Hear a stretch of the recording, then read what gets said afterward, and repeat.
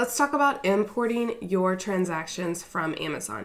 Now, whether you're using the Amazon seller spreadsheet or the Amazon import add-on spreadsheet, uh, this video is going to walk you through exactly how to import in those CSVs from Amazon.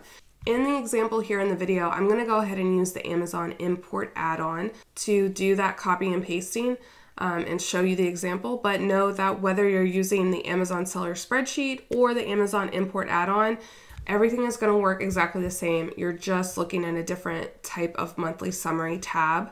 But what is going to populate and get imported is the same no matter which spreadsheet you're using. The whole goal of using this spreadsheet is that by importing in this one CSV that I'm going to show you how to find in your Amazon dashboard, you're going to save a bunch of time by using the built-in formulas to pull out all of these revenue numbers and fee numbers that you're going to want for both your books and in order to do your taxes. So that is the overall goal here. We're going to do one quick download and copy and paste to generate a bunch of numbers that we need so that we don't have to waste time or energy figuring it out for ourselves. So to download the CSV report that you need for your spreadsheet, you could just log into your Amazon seller account click reports up here in the top toolbar and just clicking reports itself, you can go to date range reports and then click this generate report button.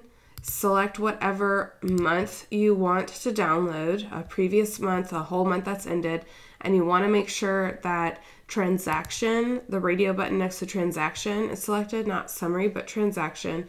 Choose the month and then click generate it's you're going to see this in progress uh, status next to the report you just requested.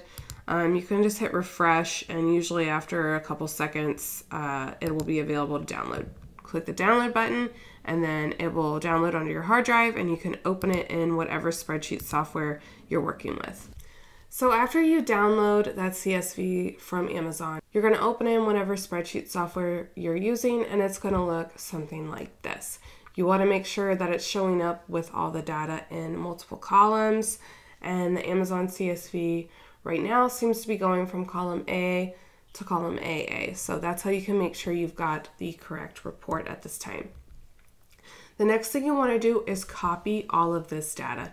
And the easiest way to do that is to hover your cursor over this little rectangle um, that is above the one and to the left of the A of your spreadsheet software. So see how my cursor actually changes to this little downward slanted black arrow when I hover over that?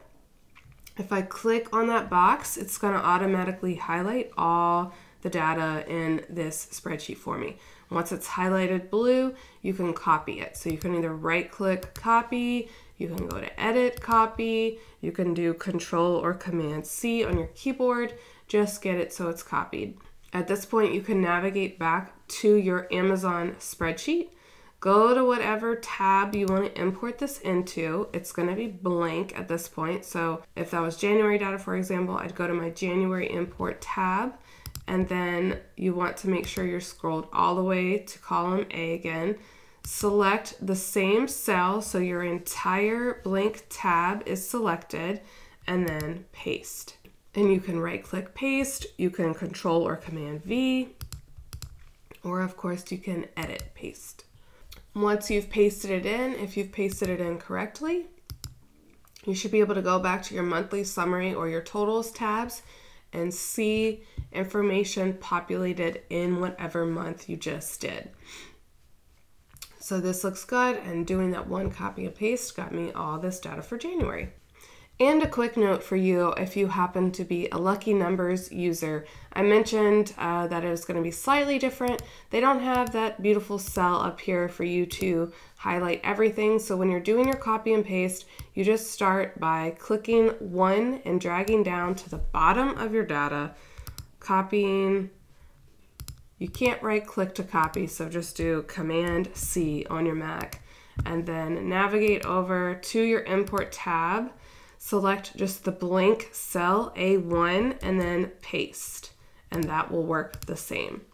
So you just don't have that little special uh, box over here for you to click on, but you can still do the copy and paste pretty similarly, just looks a little bit different, but the end results are the same. So this simple download of the CSV and this copy and paste is what you can expect to do each month to import in your Amazon sales and fees. Let's talk briefly about what exactly these things are that are getting imported in from your CSVs so you can understand the differences and the meanings of all of these rows. So first we've got your Amazon sales.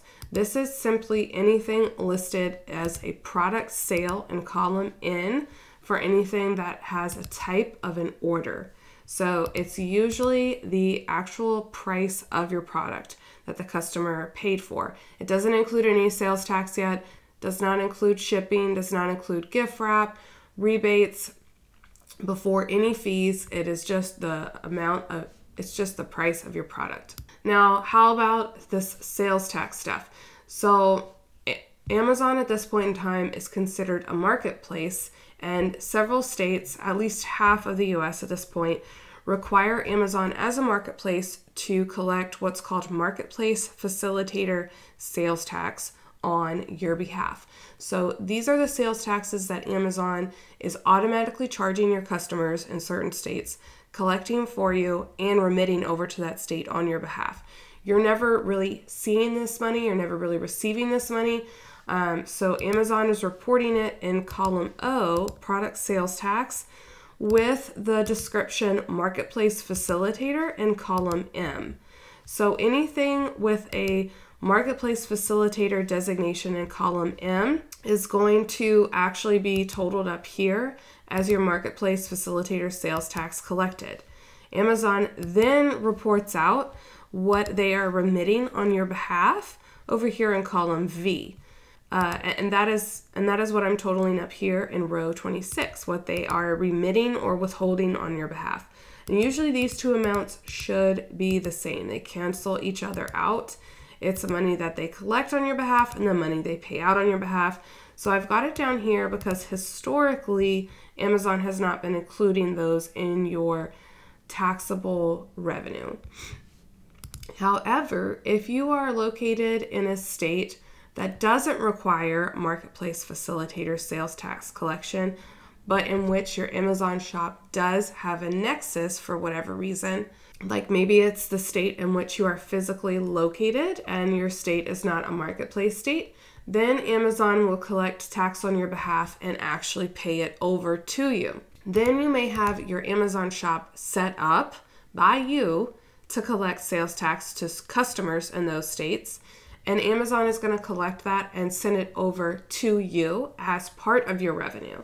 So if that applies to you, you will see those sales taxes included right here in your revenue section.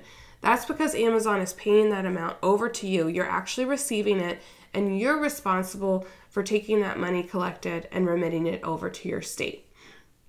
If you have any questions about this, because I know it's kind of complicated, everything going on with sales taxes right now, I have a few links and resources where you can brush up on this topic in the PDF instructions for the spreadsheet. But just know that the marketplace facilitator sales taxes are going to be reported down here.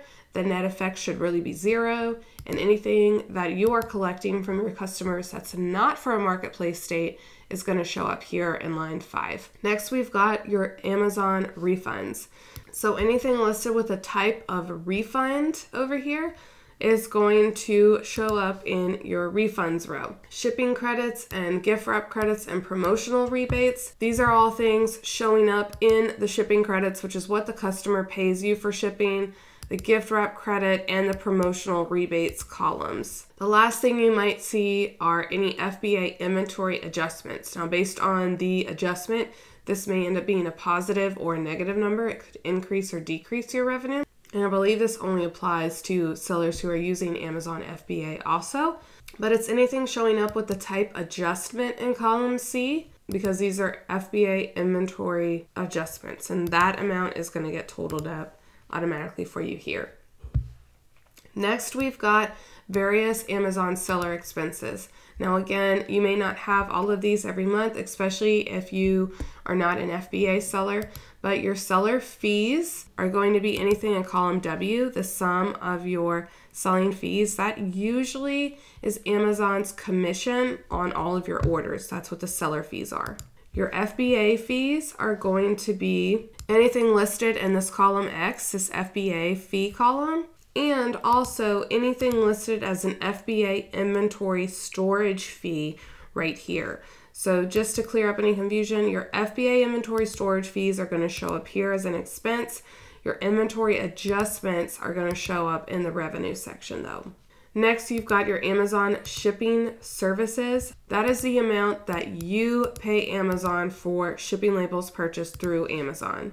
And then finally, we've got Amazon advertising. I don't have any in this example, but it shows up as cost of advertising on that Amazon CSV. So if you ever pay for Amazon advertising, it will show up here. We've also got uh, the sum of your transfers. So anything listed as a transfer to your bank account on your CSV will show up here. This is just so you can keep track of your payments to yourself. And that is what is getting imported in here. You're also going to see some stuff automatically populate on these two state sales tax tabs, but I'll talk about those in a separate video. The only other thing that I want to mention when you are doing your monthly import each month is to verify that there aren't any other fees showing up on your CSV or on or you can even look at your like Amazon dashboard report that sums everything up for the month. Make sure there's not any fees there that are not showing up here. Every now and then, it seems like Amazon likes to add new fees into their reporting, and um, I've tried my best to incorporate every current type of fee based on the example sellers I've been working with on the spreadsheet.